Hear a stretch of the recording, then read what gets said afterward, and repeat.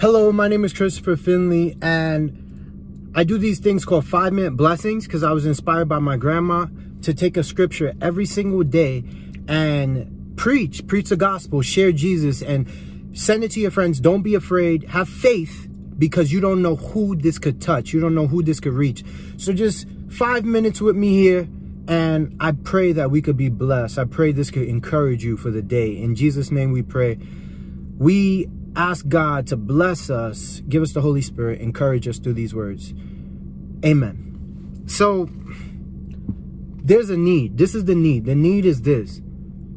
There's sometimes when we're trying to get close to God and we realize that everybody else is on their own paths. Everybody else is on their own journeys. And I know for me in my life, I've struggled with that because I've been working on this journey with getting close to God. And sometimes you want to tell things to your family. Sometimes you want to tell things to your friends. And my cousin was talking to me and he said to me, he was like, is something you got to learn. We not the Holy Spirit. And I realized that I'm like, man, that's a problem. Sometimes we want to see changes in people around us, but that's not our job. Our job is just to plant the seed. And when we realize that, we become more peaceful with how we share Jesus and even how we walk in life, whatever we're trying to share. Because we start to understand that people are on their own journey and we can love them where they are. And if we love them where, where they are, their, their, their life will be transformed by our example, by Christ working through us. The Holy Spirit is going to do the work. How do we know? If we turn to the scripture in the Bible, what does God have to say about this?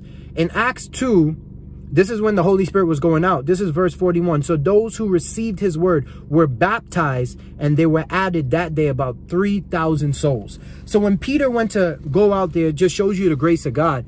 Peter is so good because God is so good because he worked through Peter, even though Peter denied Christ. Why is this important? This is important because the people who listened to Peter's sermon, they heard Jesus.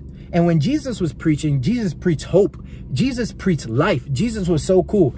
He went against everything people thought and he came to the scene and he said, blessed are the poor in spirit, for theirs are the kingdom of heaven.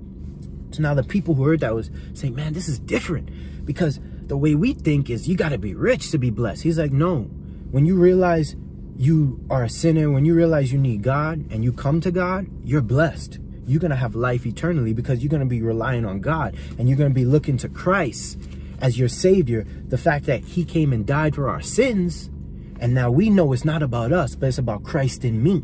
So Christ forgives me every day. I walk in the newness of life. I don't need to have guilt. I don't need to be ashamed. Why? Because I'm new in Jesus every day. That's the gospel. This is the gospel that needs to go out into the world right now. And I realize this, the Holy Spirit, the same people who was at Jesus' sermon, some of those people were at Peter's sermon. Peter was able to take the seed that Jesus planted and watch it grow. So that's the same thing with us. Many times we just, we may just be planting the seed. That's what my cousin explained to me. And I was like, I needed that message. And that's what I'm going to share with you guys. Many times when I'm sharing these little messages, I'm sharing how God is talking to me. Because I need these messages just as much as you need it. How am I going to preach the gospel if I don't know Jesus? So every day I'm trying to get to know Jesus. I'm trying to have the Holy Spirit work in me so I can share it with my friends on Facebook or Instagram. on the And then maybe somebody could be going through something in their life and they hear about Jesus and then they start thinking, all right, maybe I need to have a closer relationship with Jesus. And that's how the Holy Spirit will work. So now you hear about Jesus and then somebody else in your life don't know about Jesus. You could tell them, no, your victory is in Jesus. He died for your sins. So everything that you're going through in your life, Jesus could heal you. Jesus could restore you. You could walk with God and actually have peace because we know that it's not about here. It's about heaven. So what happens to your life when you start realizing that it's not about you, it's about the Holy Spirit? You start to walk more peaceful. You start to just do your part. Your part, my part is just to surrender to God, let Jesus live in us, show the love, show the fruits of the Spirit, show the grace, show the mercy when we surrender to God. So it's not us living, but it's Christ in me.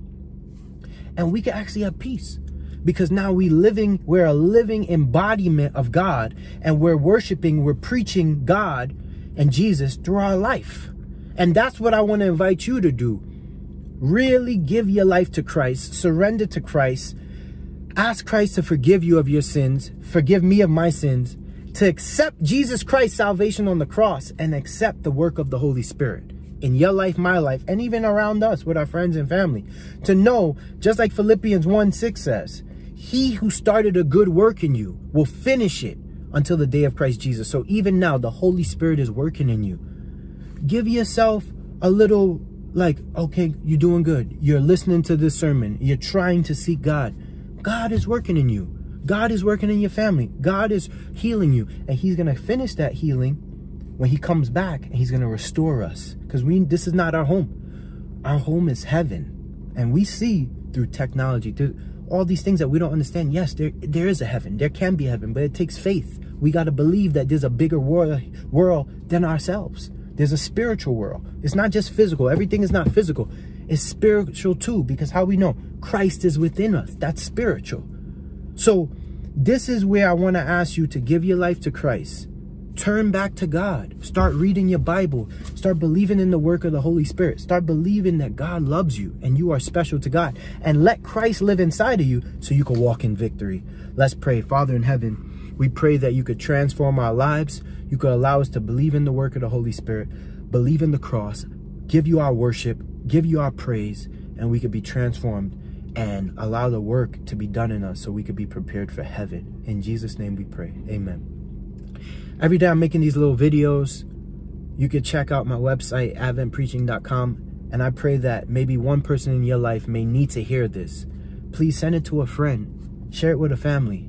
Somebody who needs to hear this message so that more people could come to Jesus and be saved. And we could win more souls for the kingdom of heaven. God bless you. I love you. But most of all, Jesus loves you best. God love you. God loves you. Have a blessed day. All right.